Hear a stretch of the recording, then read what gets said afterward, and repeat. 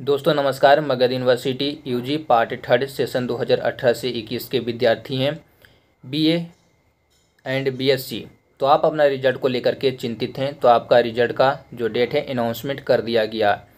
Result कब प्रकाशित किया जाएगा, इसको लेकर के लास्ट तक बने रहेंगे, तब आपको संपूर्ण जानकारी अवेलेबल होगा, ठीक है?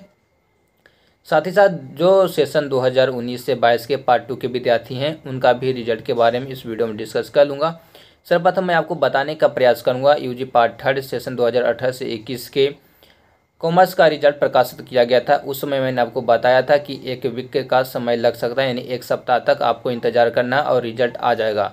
हालाँकि आज मुझे यूनिवर्सिटी से अभी कुछ देर पहले जानकारी मतलब अवेलेबल हो पाया है और उस जानकारी के अकॉर्डिंग जो है रिज़ल्ट आज रात, यानी कि साढ़े दस बजे तक रिज़ल्ट को पब्लिश कर दिया जाएगा।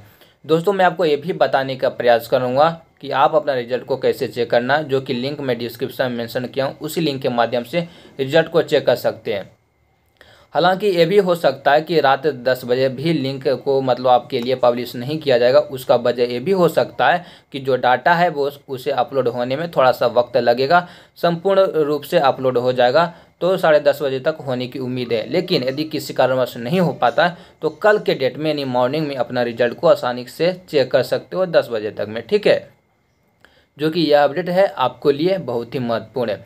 रिज़ल्ट का लिंक जैसे ही एक्टिव होता है, वैसे ही मैं आपको स्टेप बाय स्टेप किस तरीके से चेक करना है डाउनलोड करना है मार्कशीट को, उसको लेकर के मैं आपको बता दूँगा।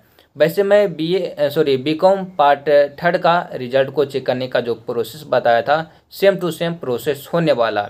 आप उस भी वीडियो को जा कर के देख लेंगे और उस वीडियो के माध्यम से अपना जो है आर्ट्स एंड साइंस के जो भी विद्यार्थी हैं, वो अपना रिज़ल्ट को सेम टू सेम प्रोसेस रहेगा, उसे चेक कर लेंगे। लेकिन जैसा ही कुछ आता है, वैसे मैं आपको अपडेट कर दूँगा।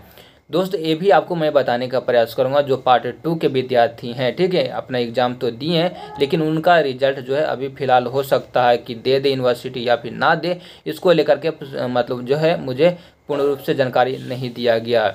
लेकिन जो भी मुझे जानकारी आया है, बस इतना ही आया है कि आज रात साढ़े दस बजे तक रिज़ल्ट को पब्लिश कर दिया जाएगा, लेकिन ज़्यादा उम्मीद है पार्ट थर्ड के विद्यार्थी के लिए साइंस या फिर आर्ट्स दोनों में से किसी एक का रिज़ल्ट दे या फिर दोनों का रिज़ल्ट दे।